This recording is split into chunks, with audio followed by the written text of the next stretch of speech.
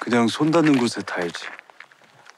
조금이라도 더 높이 달면 그럼 좀 더 잘 이루어질 것 같아서요.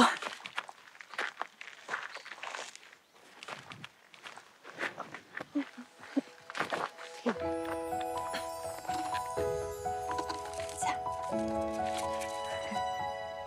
됐다.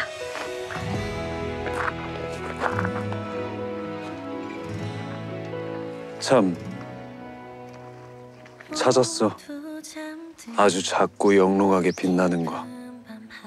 그걸 지금까지 찾고 계셨어요? 가만. 근데 그걸 어떻게 찾았지? 알아. 애초에 옥장 같은 건 없었다는 거. 아유 놀랐잖아요. 또 연못에 풍덩 빠지셨나 하고.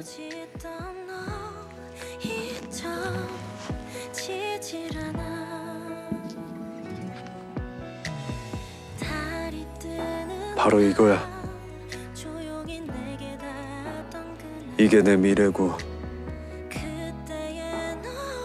하나뿐인 계획이야.